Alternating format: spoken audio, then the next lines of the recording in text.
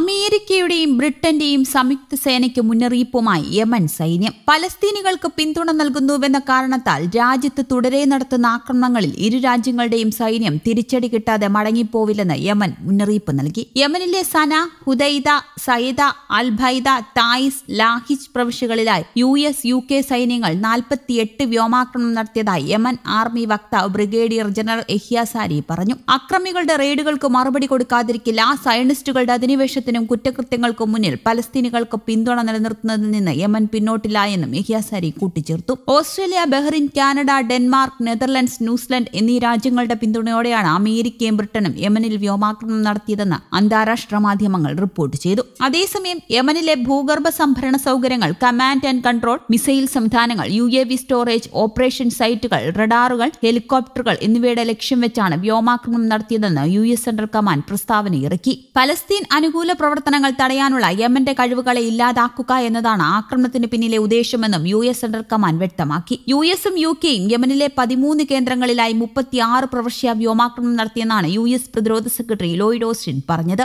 യമനിൽ നടത്തിയ ആക്രമണം അന്താരാഷ്ട്ര സമവായത്തെയാണ് പ്രതിഫലിക്കുന്നത് എന്നാണ് യു എസിന്റെ വാദം. കൂട്ടമായ സൈനിക നടപടി ഹൂതികൾക്ക് വ്യക്തമായ സന്ദേശം നൽകുമെന്നും അന്താരാഷ്ട്ര കപ്പലുകൾക്ക് നേരെയുള്ള ആക്രമണങ്ങൾ അവസാനിപ്പിച്ചില്ലെങ്കിൽ ഇനിയും പ്രത്യാഘാതങ്ങൾ ഉണ്ടാകുമെന്നും ഓസ്റ്റിൻ അറിയിച്ചു. അതിനിടെ ഗാസയിലെ ബെൽജിയൻ വികസന ഏജൻസിയുടെ കെട്ടിടത്തിന് നേരെ ബോംബെറിഞ്ഞതിനെ തുടർന്ന് ഇസ്രയേൽ അംബാസിഡറെ വിളിച്ചുവരുത്തി ബെൽജിയം വിദേശകാര്യമന്ത്രി ഹജ്ജ ലഹബീബ്. നഗരത്തിലെ അടിസ്ഥാന സൗകര്യങ്ങൾക്കെതിരായ ഇസ്രയേൽ ആക്രമണങ്ങൾ അന്താരാഷ്ട്ര മാനുഷിക നിയമത്തിന്റെ തത്വങ്ങൾ ലംഘിക്കുന്നതാണെന്ന് ഹജ്ജ ലഹബീബ് എക്സിൽ കുറിച്ചു. അന്താരാഷ്ട്ര നിയമങ്ങൾ എല്ലാവരും പാലിക്കണമെന്നും അതിനുള്ള ഉത്തരവാദിത്തം എല്ലാ പാർട്ടികൾക്കുമുണ്ടെന്നും ഹജ്ജ ലഹബീബ് പറഞ്ഞു. രണ്ടായിരത്തി ഇരുപത്തിനാല് ജനുവരി ഇരുപത്തിയെട്ടിലെ ടൈം സ്റ്റാമ്പുള്ള ഒരു അപ്പാർട്ട്മെന്റ് കെട്ടിടവും തകർന്ന കെട്ടിടങ്ങളുടെ അവശിഷ്ടങ്ങളും അടങ്ങുന്ന രണ്ട് ചിത്രങ്ങളും സമൂഹ മാധ്യമങ്ങളിൽ പങ്കുവച്ച പോസ്റ്റിനോടൊപ്പം ലഹബീബ് ഉൾപ്പെടുത്തിയിരുന്നു. അന്താരാഷ്ട്ര മാനുഷിക നിയമത്തിന്റെ ചട്ടക്കൂടിൽ പൊതുനന്മയ്ക്കായി പ്രവർത്തിക്കുന്ന ഒരു സർക്കാർ ഏജൻസി എന്ന നിലയിൽ തങ്ങൾക്ക് ഇത് അംഗീകരിക്കാൻ കഴിയില്ലെന്ന് എനാബെല്ലിന്റെ സിഇഒ ജീൻ വാൻ വെറ്റർ വ്യക്തമാക്കി. ഇസ്രയേലിന്റെ ബോംബാക്രമണത്തിൽ ഗാസയിലെ തങ്ങളുടെ കെട്ടിടം പൂർണമായി തകർന്നുവെന്നും ഈ ആക്രമണങ്ങൾ അസ്വീകാര്യമാണെന്നും വാൻ വെറ്റർ പറഞ്ഞു. യൂറോപ്യൻ യൂണിയനും അതിലെ അംഗരാജ്യങ്ങളും ചേർന്ന് ധനസഹായം നൽകുന്ന പദ്ധതികളുടെ കേടുപാടുകൾക്കുള്ള നഷ്ടപരിഹാരം സംബന്ധിച്ച വിവരങ്ങൾ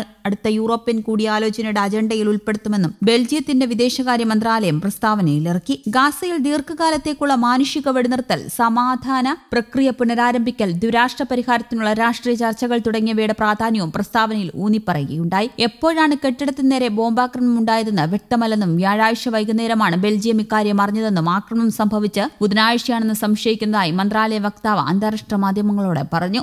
ഗാസയിൽ ഇസ്രയേൽ നടത്തുന്ന വംശഹത്യയ്ക്ക് ജോ ബൈഡന്റെ ഭരണകൂടം നൽകുന്ന അചഞ്ചലമായ പിന്തുണ പുനഃപരിശോധിക്കണമെന്ന് യു എസ് ഫെഡറൽ കോടതിയും പറഞ്ഞു. ഗാസയിൽ ഇസ്രയേൽ നടത്തുന്ന വംശഹത്യയ്ക്ക് യു എസ് പ്രസിഡന്റും ഭരണകൂടത്തിനും പങ്കുണ്ടെന്ന് ആരോപിച്ച് ഫയൽ ചെയ്ത കേസിൽ വിധി പറയുകയായിരുന്നു കാലിഫോർണിയയിലെ കോടതി. യു എസിന്റെ വിദേശ നയത്തിൽ ഇടപെടാനാണ് ഹർജിക്കാർ ആവശ്യപ്പെടുന്നതെന്നും ഇത് തന്റെ അധികാരപരിധിയിൽ വരുന്നതല്ല എന്നും ചൂണ്ടിക്കാട്ടി യു എസ് ജില്ലാ കോടതി ജഡ്ജി ജെഫ്രി വൈറ്റ് ബൈഡനെതിരായ കേസ് തള്ളി. എങ്കിലും ഗാസയിലെ പലസ്തീനുകൾക്കെതിരായ സൈനിക നടപടിയിൽ യു എസ് നൽകുന്ന അനിയന്ത്രിതമായ പിന്തുണയുടെ ഫലങ്ങൾ പരിശോധിക്കണമെന്ന് അഭ്യർത്ഥിക്കുന്നതായി കോടതി വിധി പ്രസ്താവനയിൽ പറഞ്ഞു. News desk Kerala Kaumudi.